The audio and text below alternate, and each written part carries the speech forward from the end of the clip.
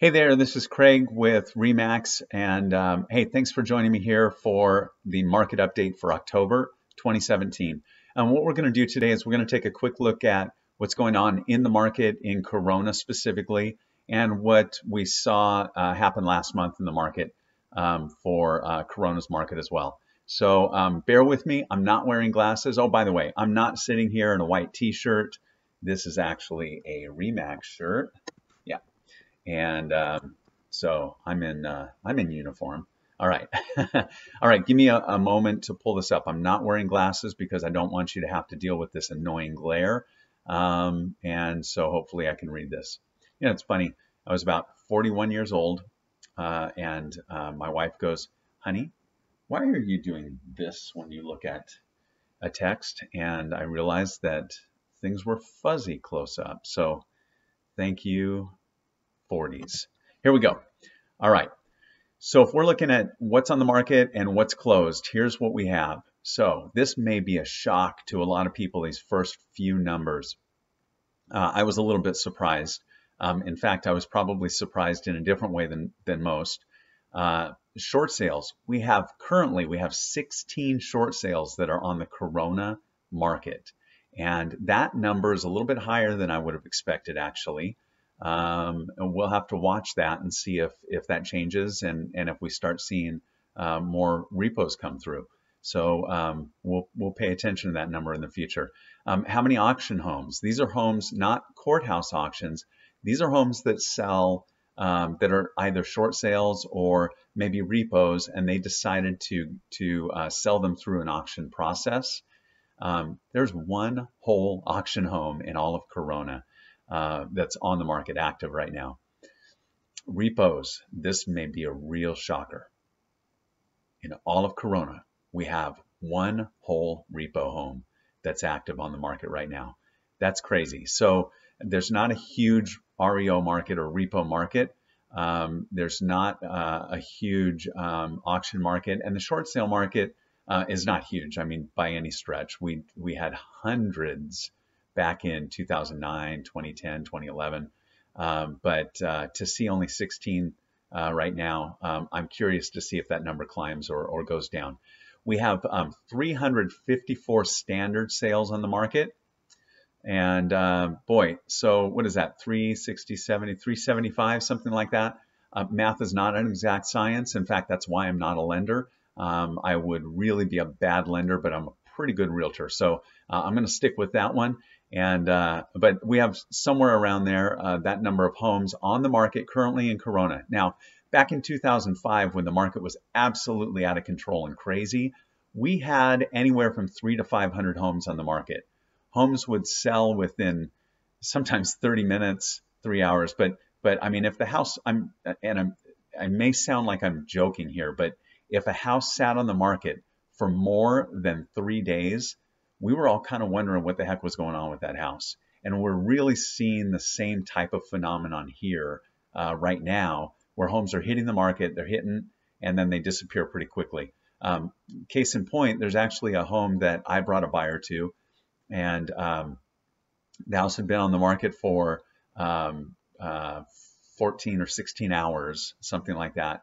Um, I was able to get the buyer in. Of course, we made an offer. It was a gorgeous home and then there were multiple offers on this home. Now that wouldn't be super surprising in the three or four or five hundred um, thousand dollar price range, but this house was priced at 685 and it went up over 700 pretty darn quickly with those multiple offers. And of course, uh, terms were changed as well. Um, I know all that may be foreign to you, and it would really uh, probably benefit if you're thinking about buying in the, in the next 30 uh, 60 or even 90 days to have a conversation with me so we can kind of work out what some of that stuff means. But back to this. Um, so this, uh, so we've also got um, probate sales. There are three probate sales in all of Corona, and that's where somebody had passed away who owned the home had passed away, and they're uh, they didn't have a will or a trust, which is a, a, a really good thing to talk about sometime in the future. Um, if you do own a home, or if you're going to own a home, you'll definitely want to set up um, some kind of protection uh, so that your family um, can can you know benefit from the equity and make sure that um, uh, your estate is settled properly. But um, three homes in Corona, which actually is a little bit more than I would expect. And then we've got 269 homes in escrow. So we've got about 100 less homes in escrow than are actively on the market. And what that means is if you're driving around Corona and you're you're like, come on, Craig, there's a ton of homes on the market. Well, you may be seeing a lot of signs up in the air, but what those signs represent are almost half um, of those signs are sold in escrow and uh, probably going to close within the next uh, uh, day to 60 days. um, so this was interesting to me also. I sent an email out last week. You may have seen, or last month rather, you may have seen it. And it was an, uh, kind of a written email with a lot of these figures in there.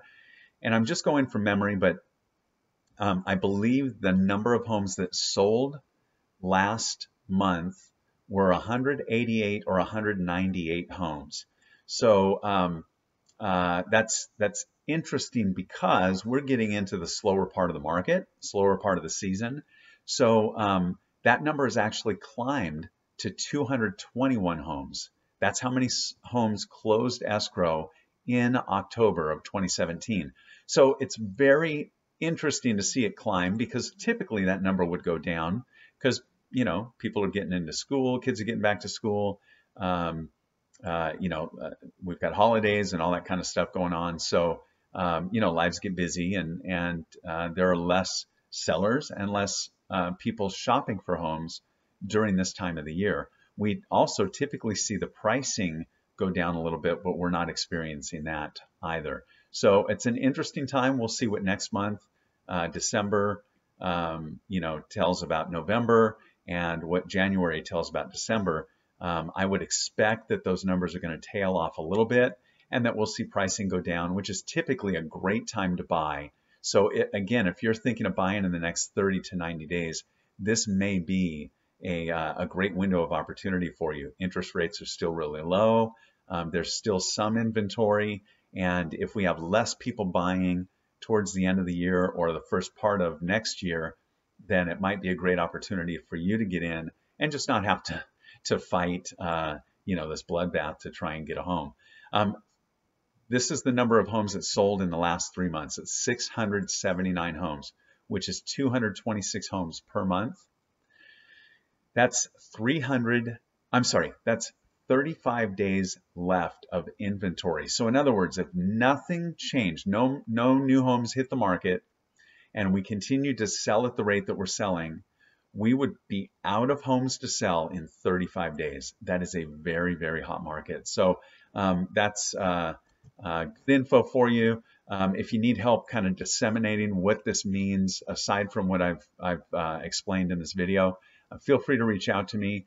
Uh, we can kind of talk about what some of um, uh, what some of those numbers mean or could mean. And again, we'll definitely want to watch and see what happens next month.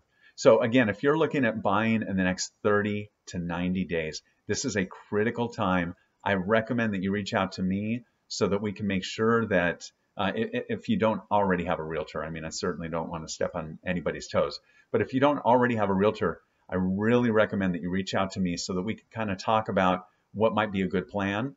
We can talk about what some of this stuff that, that um, I mentioned in the video might mean to you in your home search. We'll also look at what the, um, the real estate market traditionally does and where I think it's going and what the future might hold and whether or not this is really even a good time for you to buy. I mean, interest rates are great. Uh, market is increasing, which means that there's a potential to make some equity. But we also know that the market will come down. So um, we can look at uh, some past data, historical data, and see if we can figure out if uh, if this is a, a, good time for you or not. Um, and by the way, it's not a cookie cutter answer. It's going to depend on uh, your particular uh, wants, needs, and and lifestyle. So um, let's have that conversation.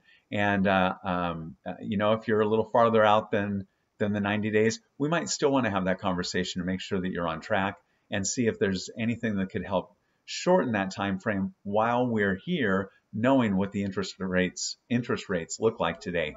Hey, I appreciate you spending the time with me. I hope this information was helpful, and I look forward to connecting with you very soon. Thanks a lot. Take care.